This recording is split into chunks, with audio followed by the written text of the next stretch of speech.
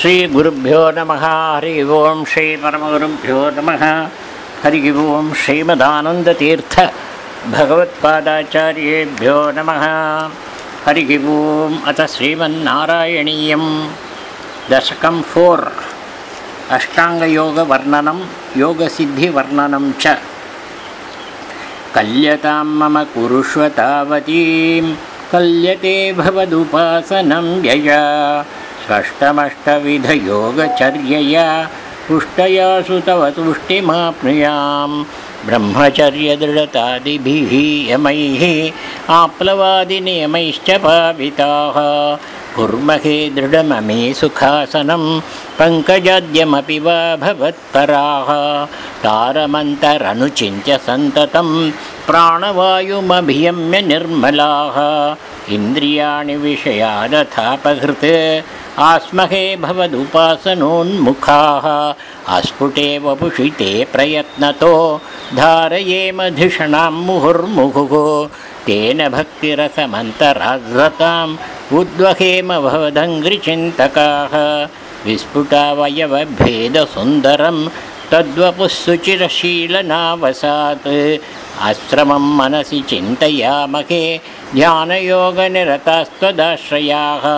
ध्यायतां सकलमूर्तिमीदृशीम् उन्मिषन्मधुरताहृतात्मनां सान्द्रमोदरसरूपमान्तरं ब्रह्मरूपमयितेव भासते त्वत्समास्त्वदनरूपिणीं स्थितिं त्वत्समाधिमयि विश्वनायक। आश्रितः पुनरतः परिच्युतावुः। आरभेमखि च धारणादिकम्। इत्थमभ्यसननिर्भरोल्लसत् त्वत्परात्मसुखकल्पितोत्सवाः मुक्तभक्तकुलमौलितां गताः। सञ्चरेम शुकनारदादिवत्। त्वत्समाधिविजयेतु यः पुनः मङ्क्षुमोक्षरसिकक्रमेण वा।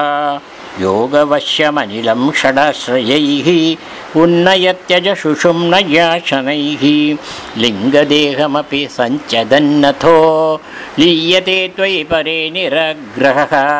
ऊर्ध्वलोककुतुकीतुमूर्धतः सार्धमेव करणैर्निरीयते।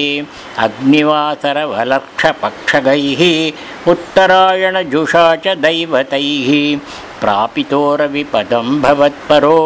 मोदवान् ध्रुवपदान्तमीयते। आस्थितोऽथ महरालये यदा शेषवक्त्रदगनोष्मणार्ध्यते। ईयते भवदुपाश्रयस्तदा वेदसः पदमतः पुरैव वा। तत्र वा तव पदेऽथ वा वसन्। प्राकृतप्रलययेति मुक्तमां स्वेच्छया खलु पुरा विमुच्यते संविभिद्य जगदण्डमोजसा तस्य तक्षितिपयो महो निलत् व्योमहत्प्रकृतिसप्तकावृतिः तत्तदात्मकतया विशंसुखी याति ते पदमनावृतं विभो।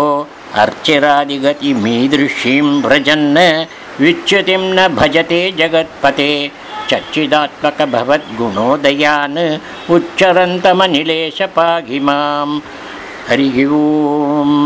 श्रीमन्नारायणाखिलगुरो भगवन्नमस्ते।